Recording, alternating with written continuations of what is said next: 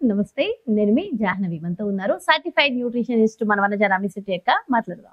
నమస్తే మజాని. అయితే వనజక్క వాటర్ దైనందిన జీవితంలో ఖచ్చితంగా అవసరమైన ఒక. లిక్విడ్ కదా.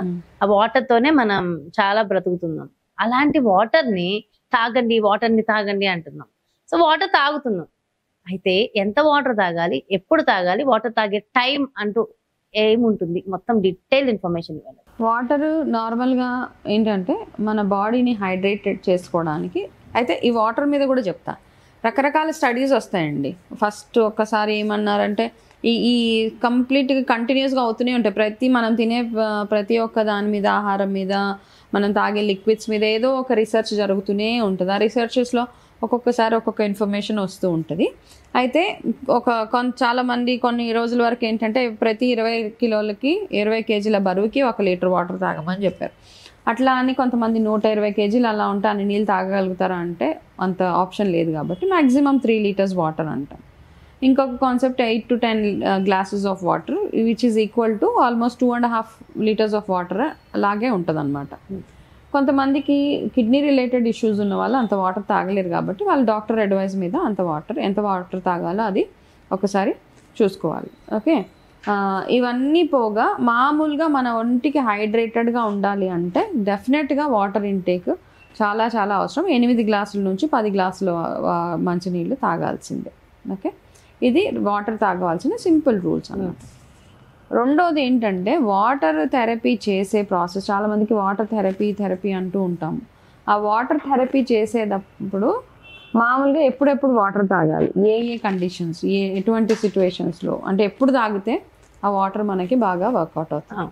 ఫస్ట్ నెంబర్ వన్ ఏంటంటే ఉదయం లేవగానే మంచినీళ్ళు తాగడము అన్నది ఒక రూల్ అన్నమాట. ఓకే? ఒక టూ గ్లాసెస్ మీ ఇష్టం. టూ గ్లాసెస్ వాటర్ మామూలుగా అయితే త్రీ సిక్స్టీ ఎంఎల్ అంటారు ఆయుర్వేద ప్రకారం. సో అది ఒక్కసారి తీసుకున్నప్పుడు? ఫస్ట్ టైం ఫస్ట్ టైం తీసు వాటర్ ఆ వాటర్ కూడా ఏదో గడగడ గడగడ తాగేయడం కాకుండా ఫస్ట్ నోరు పుక్కలించుకొని ఒక దగ్గర కూర్చొని ఇంపార్టెంట్గా మీకు వాటర్ బాగా అన్ని మీ బాడీలో ప్రతి ఒక్క పార్ట్కి వాటర్ సప్లై ఉండాలి అంటే cells కి మలాసన్లో కూర్చొని మీరు వాటర్ తాగండి.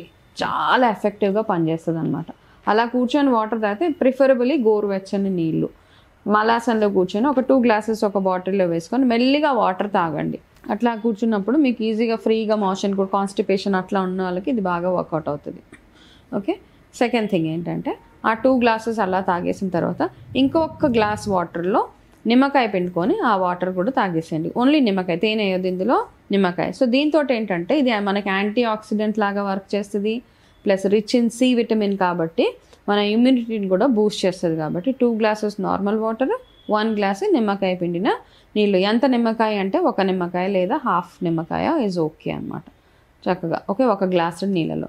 ఇది first thing in the morning రెండోసి ఏంటంటే చాలా కండిషన్స్లో మనకి ఆకలి వేసినప్పుడు ఫస్ట్ ఆకలేయగానే వెంటనే వెళ్ళిపోతాము వెళ్ళిపోయి వంటింట్లో వెళ్ళి అన్నీ చూసేసి అన్నం తినేస్తాం ఫస్ట్ ఆకలి వేసినప్పుడు ఆకలి వేసినప్పుడు దాహాన్ని ఆకలి డామినేట్ చేసేస్తూ ఉంటుంది. ఆకలి వేసినప్పుడు డెఫినెట్గా దాహం కూడా వేస్తుంటుంది మనకి. సో ఇది మనం ఆలోచించి అర్థం చేసుకోవాలి అందుకే అన్నం తినగానే ఎక్కువ వస్తుంటే. తింటే? ఆకలి బాగా విపరీతంగా ఆకలి అనిపించినప్పుడు మీరు ఆ భోజనం చేసే ముందు అట్లీస్ట్ ఒక పావు గంట ముందు కాస్త వాటర్ తా ఒక్క గ్లాస్ నీళ్ళు తాగంటే సెటిల్ అవుతుంది. దాని తర్వాత మీరు అన్నం తింటే ఏమవుతుందంటే ఇలా తిన్నప్పుడు మీరు ఎంత క్వాంటిటీ అన్నం తినాలో అంతే తింటారు ఆ టైంలో. ఓకే? ఇది రెండోది. బాగా ఎక్సర్సైజ్ చేసి విపరీతంగా చెమటలు వచ్చేసినప్పుడు కూడా కొంచెం వాటర్ ఇంటేక్ చాలా అవసరం. మీరు బాడీ మసాజెస్ అవి చేసుకోవడానికి వెళ్ళినప్పుడు వాటర్ ఇంటేక్ కూడా అవసరం అన్నమాట. ముందు తాగొచ్చు వచ్చిన తర్వాత కూడా వాటర్ తాగవచ్చు. దాని తర్వాత ఎక్సర్సైజెస్ చేసుకున్నప్పుడు ఇంకా ఇంపార్టెంట్గా హెల్త్ ఇష్యూస్ ఉంటాయి కదా కొంతమందికి జ్వరం వచ్చేస్తూ ఉంటుంది. చాలా జ్వరం వచ్చినప్పుడు అసలు ఏం తినరు ఏం తాగరు. ఆ సిక్ ఉన్నప్పుడు మాత్రమే ఎక్కువ వాటర్ తాగుతూ ఉండాలన్నమాట. మీరు ఎంత వాటర్ తాగితే సిక్ ఉన్నప్పుడు మెల్లిమెల్లిగా ఒక్కొక్క సిప్ ఒకటేసారి తాగితే మనకి వామిటింగ్ వచ్చిన ఫీలింగ్ వచ్చినా కానీ పక్కనే ఒక గ్లాస్ పెట్టుకుని చక్కగా కొంచెం కొంచెం సిప్ చేసుకుంటూ ఉంటే మీకు తొందరగా హీలింగ్ ప్రాసెస్ తొందర అవుతుంది అండ్ హీలింగ్తో పాటు ఏంటంటే చాలా మంది ఈ మధ్యకాలంలో ఫీవర్స్లో చూసారా? జ్వరం వచ్చి తగ్గిన తర్వాత పది రోజులు నీరసం తగ్గట్లే ఎవరికి.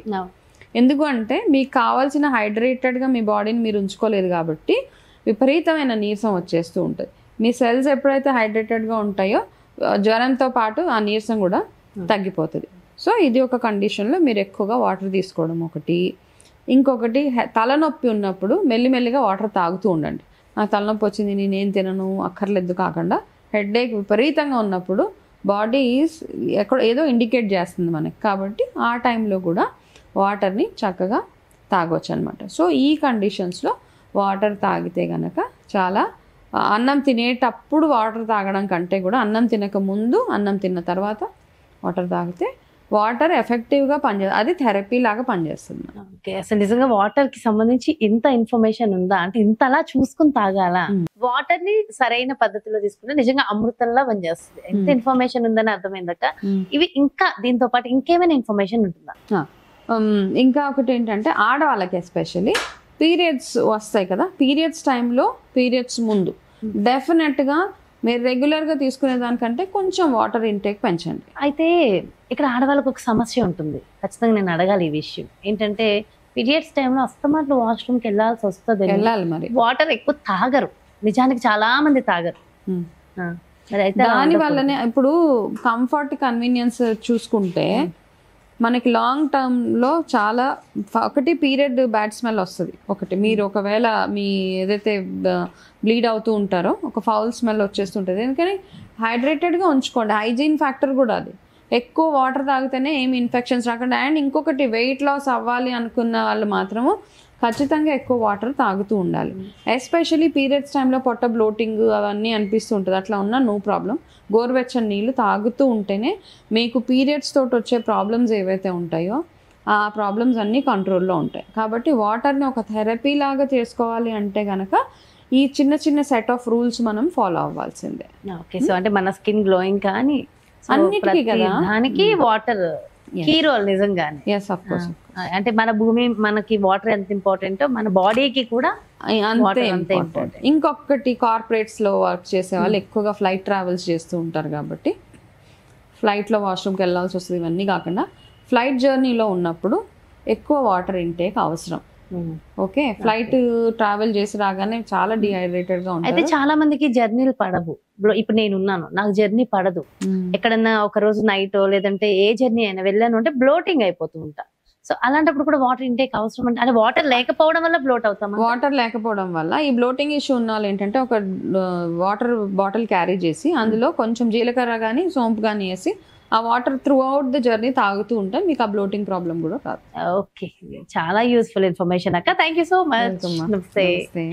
చూసారు కదండి. మరి ఇది very very useful information water intake మనందరం కూడా ఎలా తీసుకోవాలి? డీటెయిల్ ఇన్ఫర్మేషన్ ఎక్స్ప్లెయిన్ చేశారు కదా. సో డెఫినెట్గా ఎలా ఫాలో అయితే మనం చాలా ఆరోగ్యంగా ఆనందంగా ఉంటాం.